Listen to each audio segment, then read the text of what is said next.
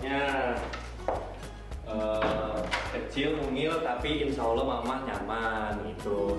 Jadi ini ruang tamu ruang keluarga gabung di sini. Nah ini dapurnya dari ruang duduk-duduk di sini langsung ketemu dapurnya gitu.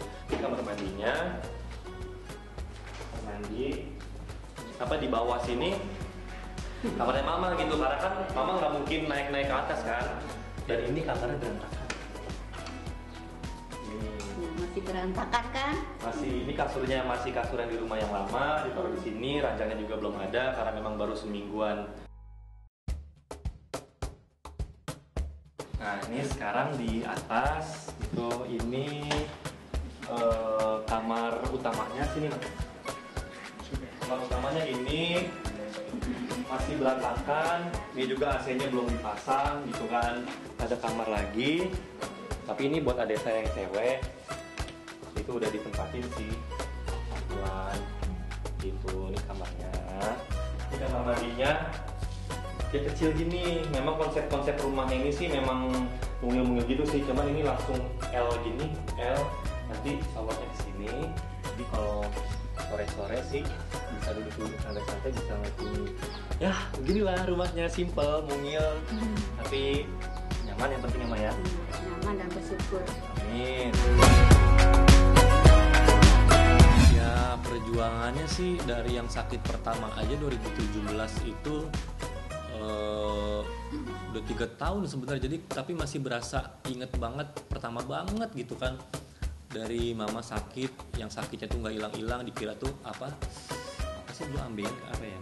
Yang ambeien kan terus akhirnya kok abis lebaran tahun 2020 muncul lagi. Ternyata pas dicek shock banget kan.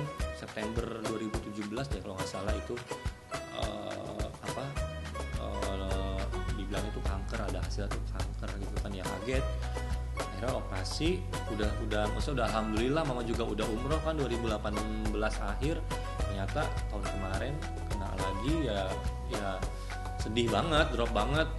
Nggak tahu mesti gimana karena udah yang kedua kalinya kan maksudnya kenapa sih mesti muncul sampai dua kali gitu kan sampai sampai ada lagi gitu kan dikira kemarin udah selesai. Tapi ya alhamdulillah. Kemarin sih saya sempat pikir jelek ya karena kok bisa sih sampai dua kali kena gitu kan? Aduh gimana nih? Ya udahlah eh, sedihnya ada apa namanya galaunya ada apanya gimana ada kok campur aduk tapi ya udahlah ikhlasin aja. Tapi alhamdulillah lah dari udah setahun alhamdulillah mama makin ke sini makin sehat.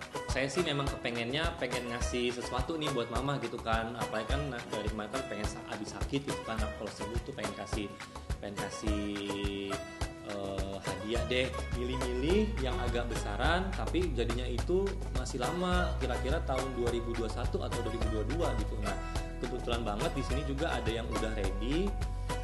Eh, ya udahlah gitu kan Eh, nggak apa-apa pilih yang ini aja.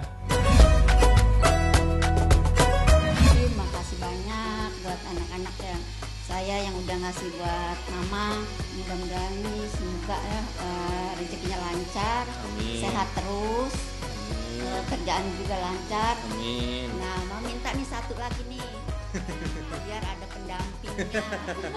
pada pada mau nanya udah dijawab duluan. Semoga lah tahun ini akhir tahun ini atau awal tahun depan gitu. Saya doain calonnya mungkin insya Allah nanti ketemu di akhir tahun. Belum pasti kali ya gitu kan. Mungkin nanti lah doain aja lah pokoknya